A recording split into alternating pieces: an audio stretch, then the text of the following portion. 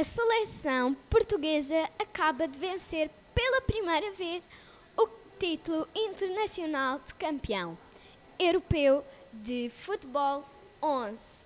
Uma notícia de última hora que está a causar festejos por toda a Europa.